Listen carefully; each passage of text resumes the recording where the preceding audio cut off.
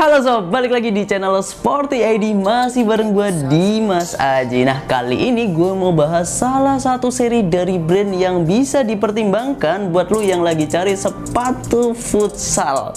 Nah nama brandnya adalah X Munich dengan seri Prisma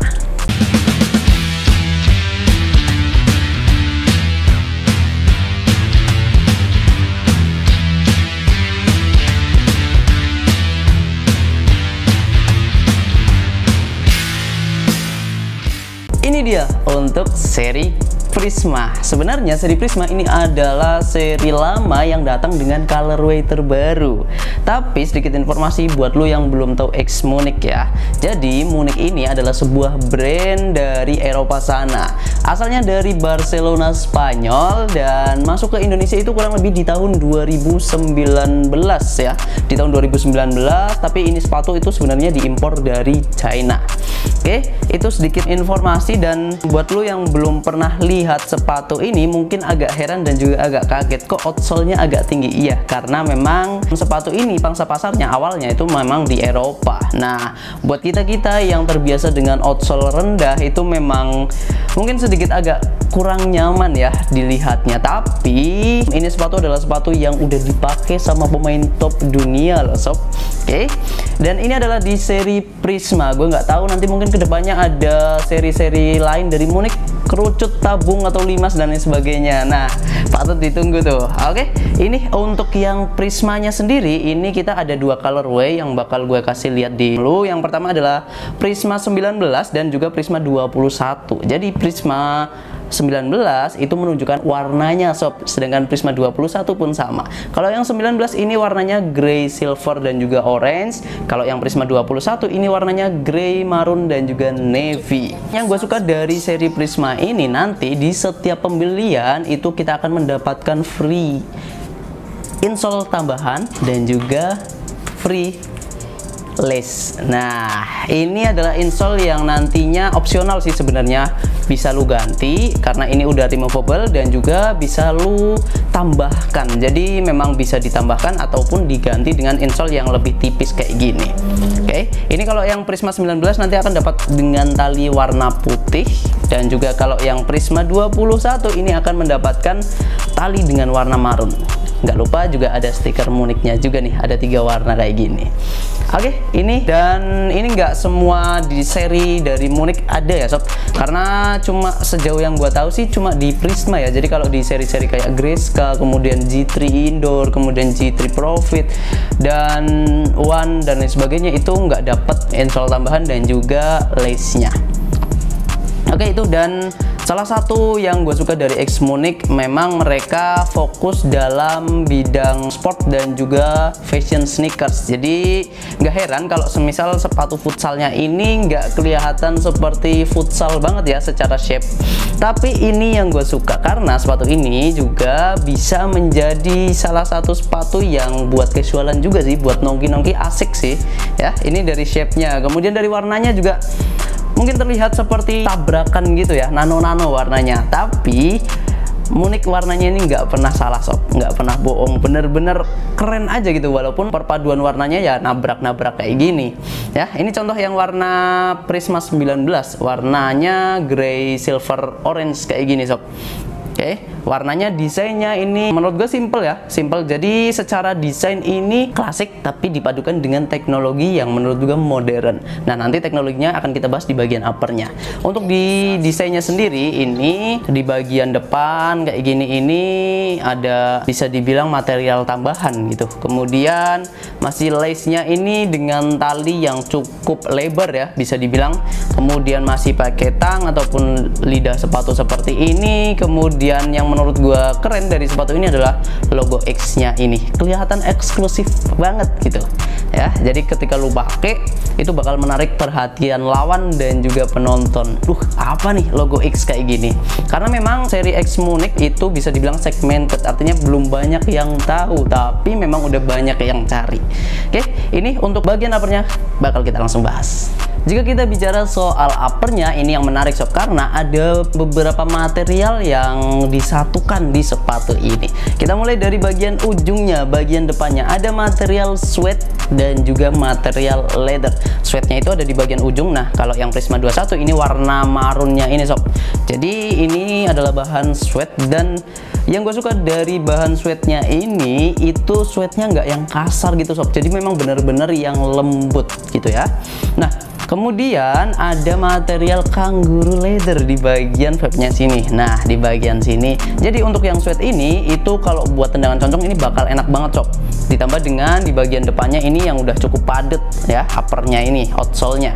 Gitu. Kemudian kangguru leathernya ini di bagian atas. Jadi buat lo yang suka dengan tendangan concong itu sudah ditambah dengan material sweat. Nah, buat lo yang suka nendang dengan bagian sini itu udah ditambahkan dengan material kangguru leather. Bisa dibilang kangaroo leather itu adalah material teratas dari leather ya. Jadi biasanya itu kan ada leather calfskin, kemudian ada juga kulit kambing dan ada juga yang kulit kanggur. Jadi dia lebih tipis dan juga lebih nyaman. Sensasinya dapat banget kalau kena bola. Dan ini sampai bagian sini. Kemudian ada juga material mesh ya yang terletak di bagian apa ya forefoot kayak gini sampai bagian lidahnya tang sepatunya ini. Nah, ini bahan mesh untuk sirkulasi udara. Jadi nanti bahan meshnya ini dia enak banget sob karena bikin adem aja gitu di bagian punggung kaki kita kemudian juga bahan meshnya itu terletak di bagian logo X Munich-nya ini. X nya ini ya ini tembus. Tembus sampai di bagian dalamnya sini. Jadi kalau misal kena angin-angin sepoi-sepoi gitulah nih masuk. Oke karena memang transparan gitu bahan meshnya Terus di tangnya ini ada logo eh bukan logo ya, bisa dibilang tulisan Munich. Dan di bagian luarnya, sisi luarnya ini ada tulisan Prisma serinya dan di bagian heelnya dia seperti ini jadi simple aja desainnya. Di bagian heel kemudian yang menarik dari sepatu ini adalah bantalan di bagian tumit. Dan ini menurut gue cukup membantu ya. Jadi mengurangi resiko lecet-lecet di bagian tumit. Karena kan memang biasanya kalau lu suka main futsal ataupun main bola itu kan rentan ya di bagian tumit. Entah itu lecet-lecet ataupun bisa ankle juga. Dan ini Munich itu menambahkan semacam bantalannya ini di bagian tumit. Dan ini menurut gue memberikan kenyamanan ekstra gitu. Dan yang menarik lagi di bagian insole-nya ini ya yang tadi gue sampaikan removable bisa dilepas jadi memang opsional ada namanya tambahan juga free gratis dari Munichnya dan ini insole bawaannya aja udah tebel kayak gini sob. Udah tebel banget dan juga ada bantalannya sini jadi lebih rebouncing nah Kemudian ini di bagian heelnya ya, di, di bagian tumit belakang. Nah di bagian depannya juga ada semacam gripnya gitu. Jadi sebenarnya lu nggak pakai kos kaki grip juga nggak masalah karena udah dapat gripnya dari insole-nya ini dan ini juga rebouncing juga gitu. Nah untuk untuk di bawahnya kayak gini dan menurut gue sih yang gue sayangkan adalah modelnya aja ya, model dan juga warna dari insole-nya ini agak nabrak aja gitu. Karena warna uppernya ini udah keren kayak gini. Kalau semisal warna insole-nya disamakan dengan warna warna uppernya lebih oke okay kali ya ini untuk di bagian insole-nya di bagian apa lagi ya? Sebenarnya udah sih cukup itu aja. Ada material sintetis juga di bagian sini. Belakang jadi lebih padat aja lebih kokoh gitu. Ini sepatu. Dan um, bisa dibilang ini adalah sepatu yang cukup berat ya. Ini ada di ukuran ataupun di size 40 itu gak timbang angkanya sekitar 300 sampai 320-an gram. Jadi memang untuk postur orang Asia ataupun orang Indonesia ini bisa dibilang sepatu yang cukup berat tapi buat lo yang punya postur tinggi dan juga besar ini rekomend banget sih kita beralih ke bagian outsole-nya. Ah, ada apa nih di bagian outsole-nya? Jadi di bagian outsole-nya ini memang Munich ini terkenal dengan outsole yang cukup padat, sob. Artinya memang ini menjadi aspek yang menarik ya karena untuk outsole yang tebal dan juga yang padat seperti ini justru memberikan powerful ataupun memberikan sebuah apa ya kenyamanan sih menurut gue ya. Terutama buat lo yang punya postur tinggi besar tadi. Karena dengan padatan daripada outsole-nya ini tentu saja di bagian depannya ini juga wah mantep banget nih. Nah buat contoh ini ini adalah fungsi daripada outsole-nya yang sampai ke setengah sini atas sini. Selain juga karena upper sweat-nya tadi itu. Nah memang seri-seri X Munich itu terkenal dengan bagian depannya yang cukup padat seperti ini. Jadi buat yang posisi-posisi seperti pivot kemudian anchor itu masuk banget pakai seri ini.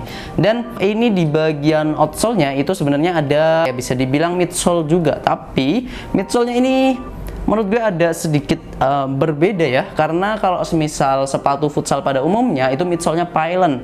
Nah ini gue nggak tahu nih midsole-nya ini apakah benar-benar 100% pylon atau ada semacam tambahannya lagi? Karena bisa dibilang ini kalau dibilang empuk juga ya empuk sih tapi nggak yang empuk banget gitu kayak sepatu futsal pada umumnya gitu.